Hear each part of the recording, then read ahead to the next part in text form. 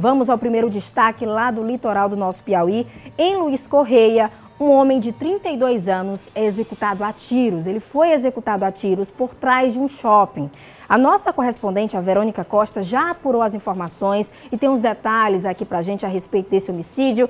Você trouxe agora há pouco, no início do programa, as primeiras informações.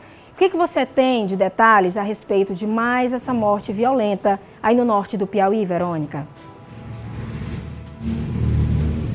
Oi, Tracy. Olha, esse homem de 33 anos, é, identificado como Lucas Cosme Almeida, ele foi assassinado próximo à casa dele, que ficava próximo ao Shopping Amarração, ali no centro do município de Luiz Correia.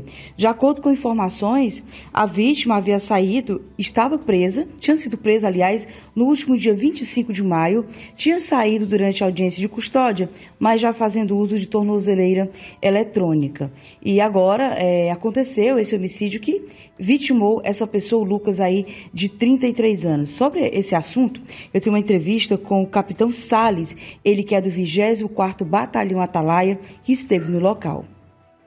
Nós fomos acionados né, via, via Copom sobre uma pessoa que tinha alvejado por disparo de arma de fogo. Imediatamente as equipes todas nos colocamos aqui para o local. Aí constatamos realmente a veracidade do homicídio e pelas informações que tivemos aqui inicialmente, que duas pessoas em uma motocicleta, certo, com capacetes, é, efetuaram os disparos e saíram aqui destino ignorado. Embora as equipes for, é, fizeram aqui, nós fizemos aqui a, o cerco aqui nas áreas de saída da cidade, mas não foi né, é encontrado nenhum dos elementos. E está com um pouco mais de mês que ele, que ele saiu, né, ficou até com uso de tornozeleira. Ele mora aqui em frente, aqui, certo? São os familiares dele aqui em frente aqui do local onde ocorreu o homicídio. Esse homem ele havia sido preso durante uma operação realizada é, com o intuito de prender pessoas suspeitas do crime de tráfico de drogas ali na região.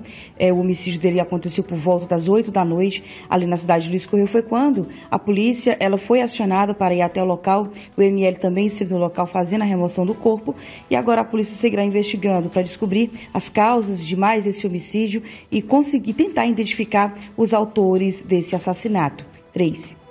Ô Verônica, obrigada por tantos detalhes. Infelizmente, o registro de mais uma morte violenta nasce aí mais uma investigação para a Polícia Civil. É mais um caso aí a ser elucidado. Qualquer novidade, você volta aqui dentro da nossa programação.